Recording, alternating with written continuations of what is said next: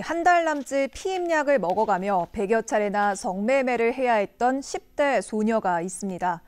알고 보니 중간에서 성매매를 알선하고 강요한 또 다른 10대 소녀가 있었는데요. 말을 바꿔가며 죄가 없다고 항변하던 알선책에게 법원이 실형을 선고했습니다. 심충만 기자입니다. 본인 인증 절차도 필요 없는 한 채팅 어플. 당장 만나자는 메시지가 넘쳐납니다. 성매매를 암시하는 문구도 한둘이 아닙니다. 지난 2017년 당시 16세였던 한 소녀는 이런 어플을 통해 성매매에 시달려야 했습니다. 피임약을 복용하며 한 달 남짓 벌인 성매매가 무려 100여 건.